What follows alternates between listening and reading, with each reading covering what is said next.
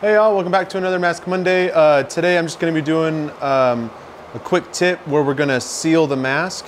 Um, I, I, get asked this like a lot, like what do you use to seal uh, the mask? And it's simple. Baby, I could pay you to a kiss from a rose on a grave. And that's how you seal it.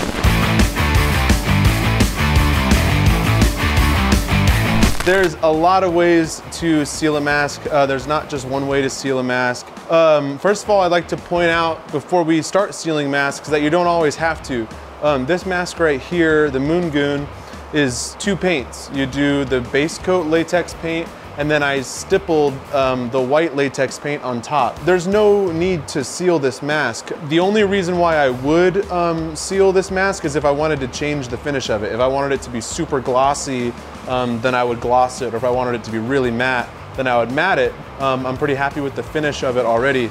So there's no point in, in sealing this mask. So this one I want to be um, like semi-glossy. So I'm gonna use um, something I've used on some videos before. This just says uh, GLF for gloss finish.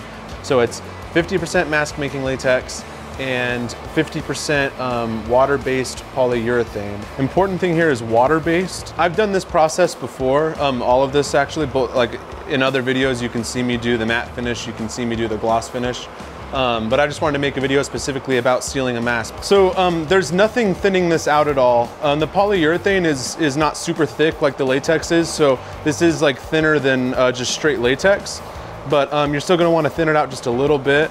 Um, and the way that I do that is I just kind of fill my cup and then I just do a quick spray of distilled water. This is pretty forgiving. It will dry translucent, but still try to move around. Don't just stay in one spot.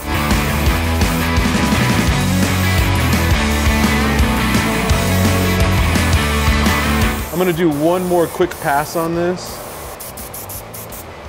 And especially kind of getting it the ears and stuff and the top of the head and kind of get that nice shine.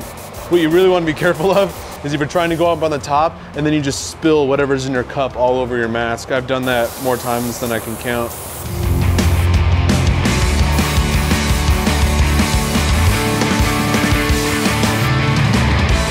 Cool, so that one's all sealed up. Now this one, for example, this pretty much is the finish that I want. It's already pretty matte. Um, the reason why I'm going to seal it though is because I used all these inks. So the, the it, I did latex black paint and then I stippled on like the spooky white paint.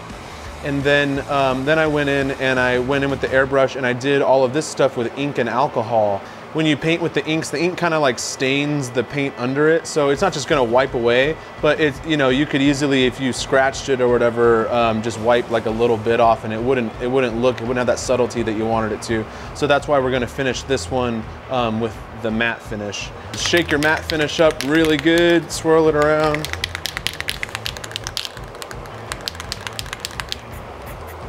Um, want to do this pretty light if you really kind of cake this on, then it will crack.